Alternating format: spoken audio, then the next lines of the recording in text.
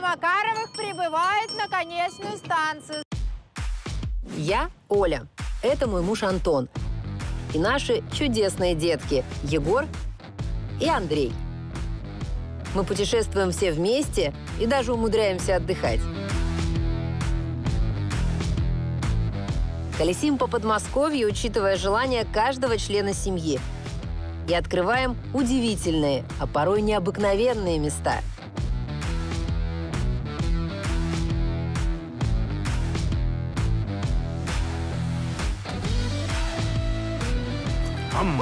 Поехали с нами. Сегодня в Клин.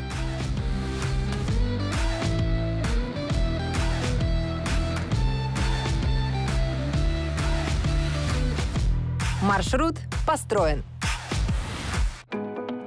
Едем в Клин, уютный городок в 70 километрах от Московской кольцевой. Вам кажется, что Клин – это маленький провинциальный город где-то далеко от столицы? С одной стороны, да. А с другой, здесь находится один из самых значимых музеев нашей страны. Вы еще здесь не были? Пойдемте с нами. Чайковский в музыке, как Пушкин в литературе. Наше все. Музей Петра Ильича в Клину – это обязательная точка на маршруте. Сюда приезжают поклонники музыки со всего мира. А вот и сам Петр Ильич. Как прекрасно! Еще и музыка звучит. Да, у нас волшебные лавочки, на них садишься, они начинают играть. Вот. А, вот так? Ага. Ой, Ура, повезло. как здорово. Везде бы так, да? Во всех парках. Почувствовать шедевры классики можно в буквальном смысле всем телом. Так, Чайковского я еще не слушал. Сильно. Но самая волшебная лавочка уже занята Петром Ильичем. Ничего, справа он оставил место для селфи. Предупреждаю сразу. Слушать музыку великого композитора, следить за детьми и пытаться уловить интересное в рассказе экскурсовода – удовольствие, ну, такое себе. Наш музей, он э, первый мемориальный музей в России, один из старейших в мире. Мемориальный, потому что в этом доме после Петра Ильича никто не жил. Его младший брат Модест Ильич решил сохранить все в том виде, в котором было при Чайковском. В детях, конечно, силен исследовательский дух, только и успевай ловить. Дабы дом композитора и нервы сотрудников остались целы, пацаны отправлены на улицу вместе с отцом. Примерно так я и представляла дом композитора. Рояль, книги, партитуры. Я вам обещала место, где Чайковский проводил свои утренние часы. Как раз нам повезло, сейчас солнышко, и понятно, почему этот балкон называется фонариком. Ага, да. Здесь он пил утренний кофе. И читал многочисленную корреспонденцию. В спальне главное место – стол, за которым работал Петр Ильич. Но посетителей больше интересуют детали гардероба. Петра Ильича тапочки. Тапочки Петра Да, да, Ильича. все подлинное. Ничего себе, с ручной вышивкой. Какой размер у него? 41 О, как у меня. Вообще он любил парфюм, любил смешивать парфюм. И среди вот этих флаконов, которые остались, есть известные бренды, в том числе и Герлен. Пока мама наслаждается интерьерами, у нас по плану прогулка. Редкий случай. Оба ребенка затихли. Место здесь и правда особенное. Кто-то скажет про энергетику или историческое наследие. Не спорю. Но еще тут много любви тех, кто хранит этот музей. Егор увидел какой-то домик и, естественно, не мог пройти мимо. Кстати, отличный вариант для детских площадок. Красная трава или зеленое лицо. Дети залипают на игру света. Спасибо большое. Спасибо вам. Приезжайте. Обязательно приезжайте и берите экскурсию, точно не пожалеете. Я однозначно ставлю отлично, превосходно, шикарно. Вот настолько. Да, мне все очень понравилось. Не только атмосфера места и не только подлинность экспонатов, а отношение людей, которые принимают тебя здесь в гости. Как будто меня ждали. Я поставлю тоже пятерку. Прошелся здесь по аллеям, и, ты знаешь, очень атмосферно. Прям чувствуется, что здесь жил великий гений. Захотелось помузицировать? Да. Быть может, и споем по пути. Пора ехать дальше. Нас ждет антимузей, но только после обеда. Никогда не догадаетесь, где можно позавтракать, пообедать и поужинать. Вместе вот с таким названием «Завтрак, обед и ужин».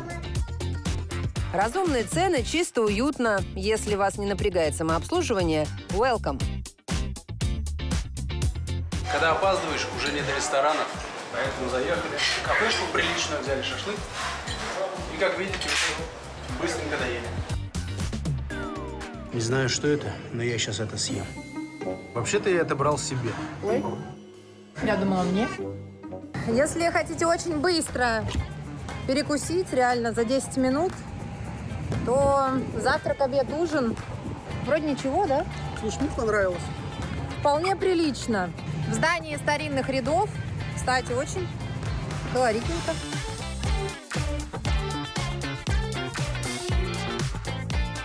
Сейчас мы направляемся в антимузей. Были в музее, а теперь в антимузее побываем.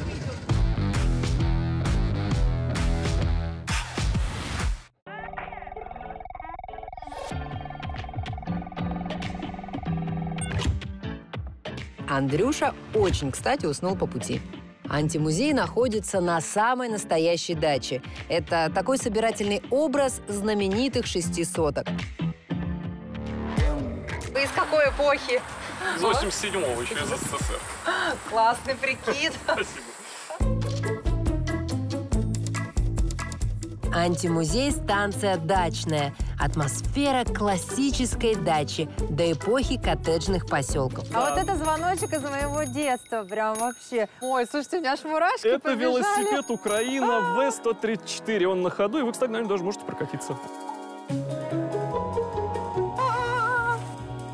Кажется, что мне снова 12, а впереди еще все лето. Какое счастье, что здесь не придется полоть грядки. Слушайте, ну он в таком хорошем состоянии. Ну, седло, понятно, чуть-чуть скрипит, а вот педали, все смазано, Конечно, он обслужен. мягко. Естественно, у нас все велосипеды обслужены. А вот велик из моего детства. Красная кама. Руль специально сделан такой, чтобы удобно вылетать было. О, седлушка старая. Сейчас на современных велосипедах стали делать вот такие седлушки. Очень неудобно. Вставай на багажник. Держись за папу крепко. Уже поняли, почему это антимузей? Да потому что экспонаты можно трогать и применять по назначению. Егор, ну что, как тебе? Конечно, до всей этой ностальгии Егору как до луны. Он изучает автопарк. Пока сын увлечен, ныряем в музей. Здесь пахнет старой дачей. Вот точно так пахло у нас на даче, когда приезжаешь туда после зимы особенно. Часы с кукушкой, крокодил Гена, машинка Зингер и шикарная коллекция ретро-автобусов и машин. Все, что здесь есть, было подарено или найдено. Ничего специально не покупалось. Каждая вещь с историей. Например, этому патефону 80 лет. И он, представьте себе, звучит. Около 50 оборотов для того, чтобы завести пружину и прослушать только одну сторону пластинки. Вот так вот. Это тебе не MP3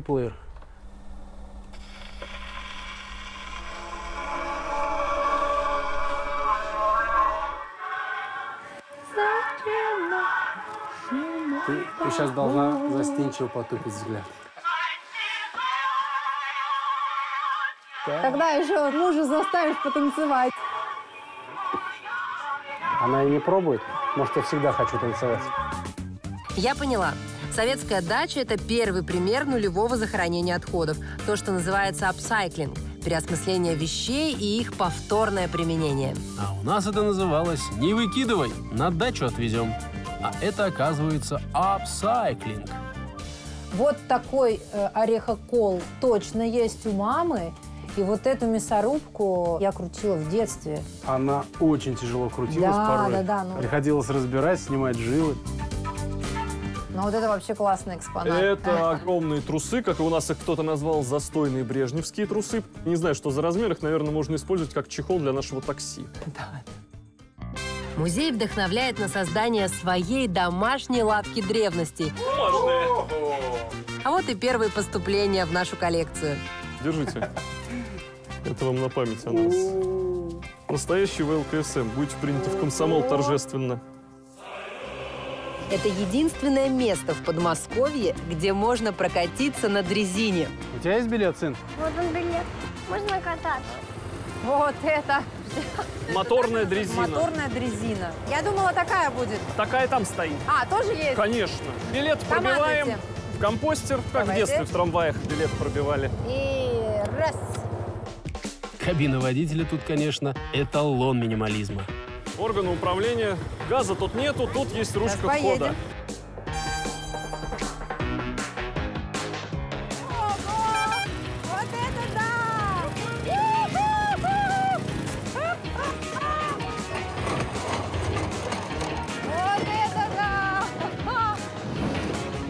Любитель погонять. Ничего себе! Столько лет работы в музее, уже и машинистом стал. По крайней мере, знаю, что если что, пойду работать в РЖД. От станции Дачная до станции Поварова метров 200. На конечной еще и чай из самовара. Как жаль, что камера не может передать ароматов. Это самовар. А это мята. На чай хватит. Мой совет – приезжайте сюда в ягодный сезон. Дети точно оценят, особенно если у вас своей дачи нет. Бегу. Дорвался, дорвался. Андрюша вовремя проснулся. На полдник – смородина. Пока парни лакомились ягодами, заварился чаек. Из самовара с мятой. Красота. Полное погружение.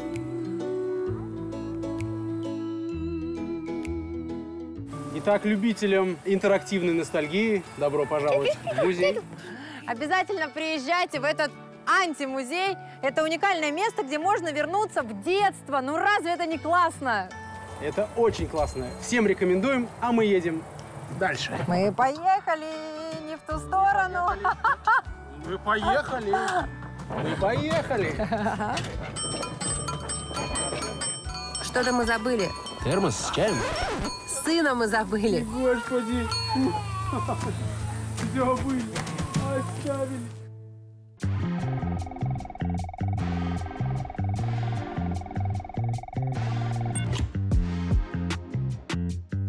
Эко-отель начинается с парковки.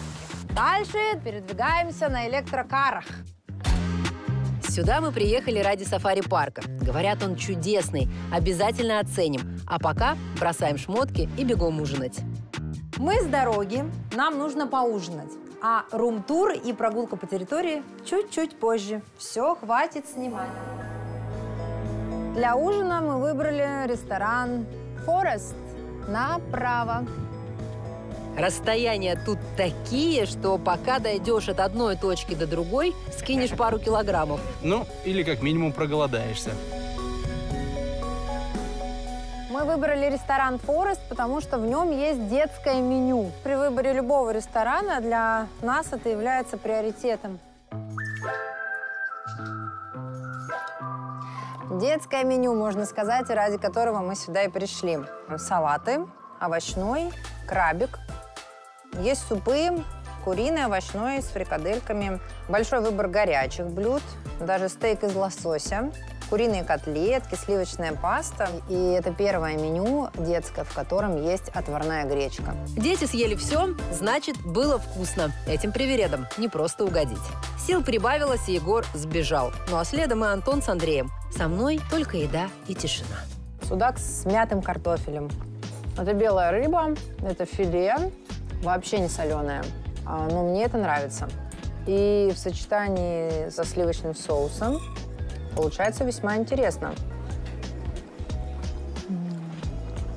Если вы любите белую рыбу, не жирную, мясистую и не соленую, обязательно попробуйте это блюдо. В таких поездках очень нужен папа, который может занять маленьких непосед. Я в таком приятном месте ужинаю с видом на водопад. Можно почаще бывать в таких местах. Возле каждого уважающего себя ресторана, по-моему, должна быть детская площадка. Наконец-таки настала очередь отца поужинать. буду пробовать угольную рыбу. Нежное мясо, но у нее есть тоненькая хрустящая корочка. М, удивительный вкус. У этой рыбы только один недостаток – это ее количество. Если вы взрослый мужчина, то берите минимум две порции. Одной вам не хватит. Вокруг лес. Какое раздолье для пеших прогулок. Идем к водопаду.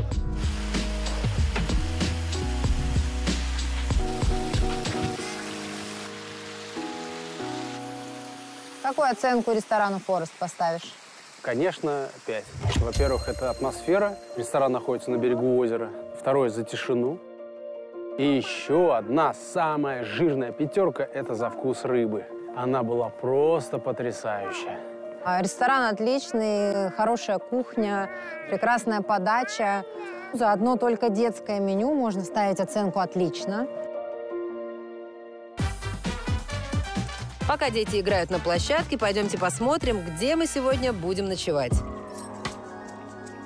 Добро пожаловать! Вот такой у нас номер. Кровать большая, детская кроватка. Такие симпатичные ночнички.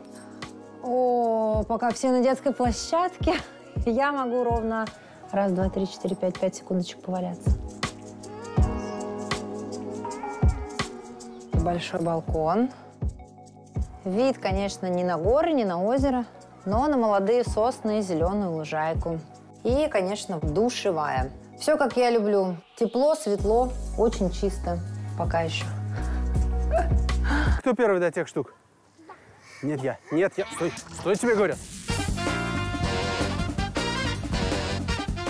Детская территория вообще шикарная. И для маленьких детей, вот как Андрюша, и для трехлеток, и для пяти, для десяти лет. Просто огромное спортивное, творческое, рекреационное пространство.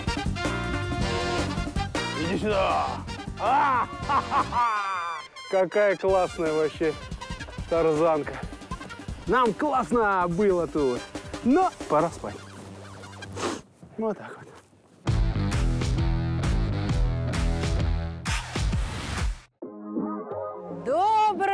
Утро! Сегодня будет то, ради чего сюда мы приехали. Это сафари-парк. После завтрака отправляемся туда. Давайте с нами. Выбор такой, что глаза разбегаются. Но для гостиниц такого уровня иначе и быть не может. Все супер люкс. С чего начнешь, сын? Сосиски. С сосиски. Понятно, все с тобой. Ваш кофе, мадам. Итак, мы взяли рыбные биточки, сосиски, печеные яблоки, яйцо пашот и омлет с сыром и зеленью. Все сытые и довольные. Вперед, в сафари!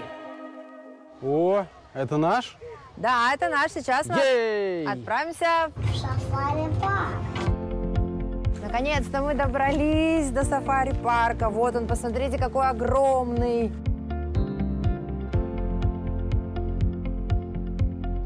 Это нам или животным? Один большой минус. Здесь нет пандуса. Но нас заверили, что он в проекте. Приедем, проверим. Это зубр Гоша. Редкий вид. Австралийские кенгуру на страже. Слушайте, это потрясающий ракурс посмотреть на верблюда сверху. Ведь всегда наоборот, верблюд смотрит Да, на тебя да. сверху. Ам-ням-ням-ням-ням-ням-ням-ням. Слава, Клава и Сюзанна очень общительные и вежливые. Даже не плюнули ни разу. Кажется, дождик начинается. Смотрите, в этот раз прогноз погоды не обманул. Да, дождик нас настал. Прям на самом интересном. Знаете, в этом есть какое-то свое очарование. Природа. Оленей кормить нельзя. Мох не выдают. А вот козликов ради бога. 320 градусов, да, обзор? 320 градусов обзор. Прикольно, можно не поворачивая головы за плечо посмотреть. Мне бы за рулем такое. Здравствуйте, пушистики альпаки! Персик и Диана с удовольствием угостятся свежей морковкой и похрустят капусткой. Как хрустит аппетитно. Все. Все. Ой, смотри, какой интересный окрас. Какую бы взять? У Егора возьму, говорит.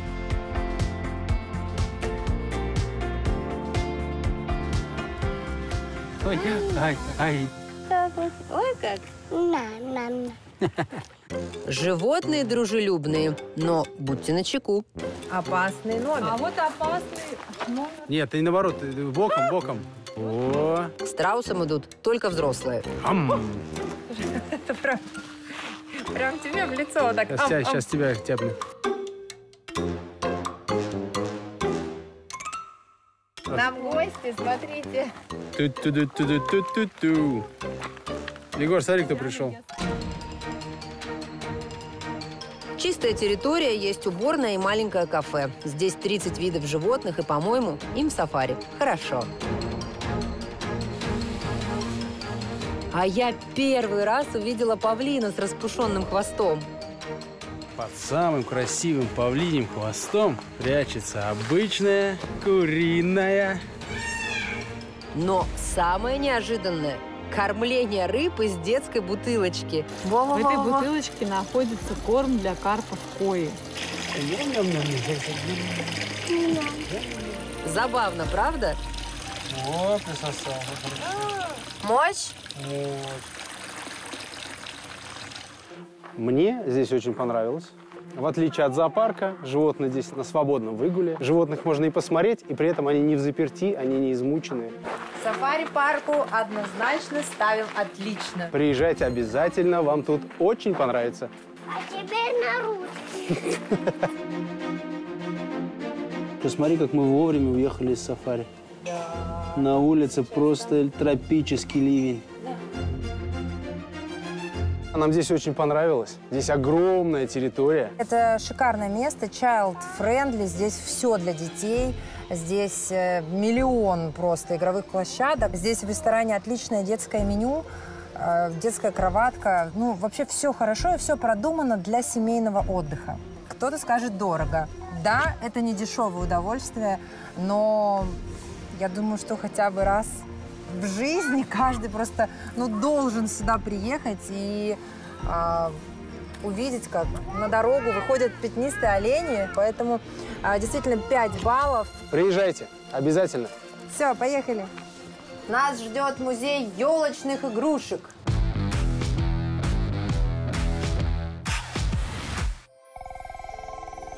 Есть чудное место в Подмосковье, где Новый год круглый год, ежедневно, с 9 до 4. Дети уснули, так что новогодняя сказка сегодня только для меня. Посмотрим, как делают елочные игрушки. Хотите волшебства? Посмотрите, как создаются игрушки. Это же фантастика! Увидеть работу мастеров-стеклодувов. Берет мастер трубку стеклодрот, начинает греть только в одном месте. Посмотрите, как тянется стекло, перерезала огнем. Сейчас начнет выдувку. Она отцентровывает эти усики для того, чтобы шар был симметричным. За смену мастер должна выдать 220 таких шариков. Это ее норма. Ничего себе. Настоящим украшением эти шары становятся в цехе художественной росписи.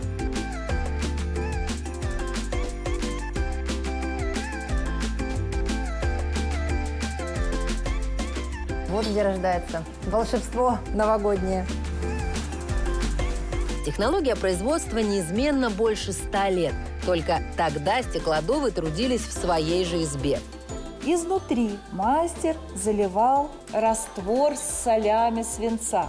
Очень вредно. Зато зеркальный блеск появлялся. Хорошо, что сейчас есть сертификаты соответствия, хоть и добровольные. В музее 12 залов, и в каждом праздник. Каких только украшений здесь нет. Стеклянные, ватные, картонные, больше 6 тысяч экспонатов. По елочным игрушкам можно век истории нашей страны изучать. Вот и Петр Ильич на шаре. Провожает меня десятиметровая красавица. Ее ветки держат 2021 игрушку, и скоро добавится еще одна. общем, музей остался в целости и сохранности, потому что дети спали. Так что у вас есть уникальная возможность его посетить и записаться на мастер-класс. Сделать эксклюзивную игрушку елочную для себя или в подарок. Скажу честно, красиво, но мне было скучновато. Конечно, детям лет 10 понравится, а от меня музею твердая четверка. В Клину, кажется, все пропитано древностью и вдохновением. Если вы хотите прикоснуться к истории, вам точно сюда. Ага, на советской дрезине со стеклянным щелкунчиком к Чайковскому в гости. Интересный маршрут получится. Счастливого пути!